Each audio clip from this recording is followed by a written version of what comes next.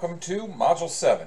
So in Module 7, we'll deal with group policies in Windows Server 2022, which is not very different from group policies over the last 10 years in Windows Server. So, excuse me, with that said, this, um, I've got two other videos for you that'll talk about GPOs in Windows Server. And there's going to be a, a, an incredible amount of overlap between the two.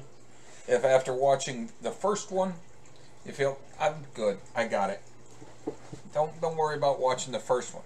If you find the first one, or the second one, if you find the first one difficult to follow, that one that's 7-3, the second one. Um, both of them are significant videos. They, cover a lot. Um, and they're both, I think, about 20, 30 minutes. Okay. So, um, we're not going to deal with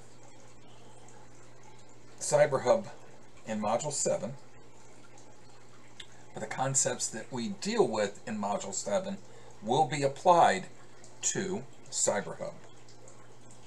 Just not going to have you jumping into CyberHub again this week. Um,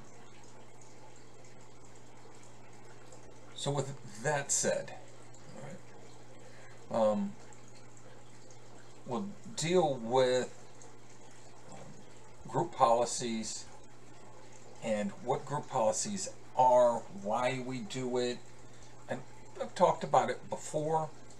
Um, they'll walk you through the interfaces. Okay, short, simple module. It's not brutal, and um,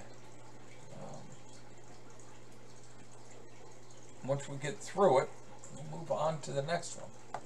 Um, so go through the chapter got the questions, homework questions at the end of the chapter.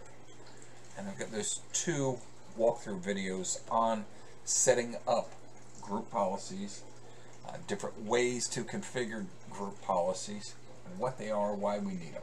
Okay. So with that said, I'll see you in the next module.